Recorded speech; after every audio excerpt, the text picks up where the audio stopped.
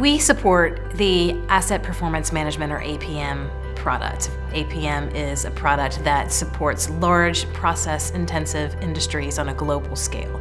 And we develop the software as well as market, build, design, support, and service it. APM is a large set of tools used by many different industries. What we use it for primarily is to figure out the health of different pieces of equipment in a production area.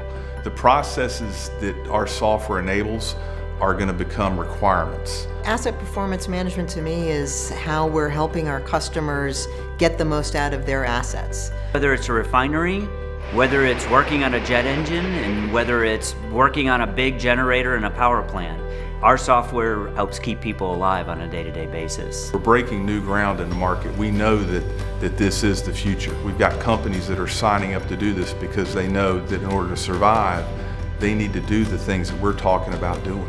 We are one of the largest industrial software engineering organizations in the world. And I think that being part of GE and being formed in the way we are gives us an incredible platform to impact critical infrastructure and really change people's lives around the world. You look at mission critical on Wikipedia, there's a picture of the stuff that we do as GE Digital. I have a team of brilliant engineers who leverage the technology they leverage their experiences and they leverage collaboration in order to solve a lot of really, really tough problems for our customers. The work is never mundane, right? It's never the same because you get one or the other issue to resolve and all of them are really, really exciting and challenging to resolve. And I think that's the best part.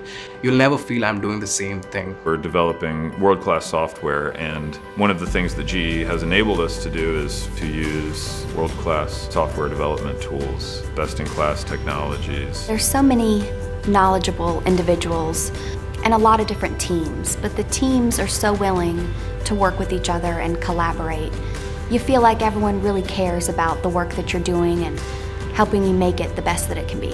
I really enjoy the people I work with. They're my family away from my family. GE offers an awesome 401k match program, the best-in-class health, dental, vision, insurance benefits, so many awesome discounts that you can really take advantage of. There's a ton of in-person and digital resources in GE for the employee to learn what they want to learn. There's all kinds of choices. You just have to figure out what you want to learn and match the resource to it. If you want to get into the development side of the business and you want to write the code, you can do that. We got a lot of stuff going on with databases. If you like DevOps, we got DevOps. If you want to go train people, you can go train people. And we all have to find what is that thing that triggers us, that motivates us. You'll find challenges and you'll find opportunities and you'll find the ability to move into different roles the challenge, the thrill that we have to work on something which has got such an impact on the overall world is pretty exciting for me. And that's what's been driving me over the past eight years. GE Digital APM side of things is going to be a powerhouse in the industrial market. So there's a huge growth potential that we have. We are passionate about what we do.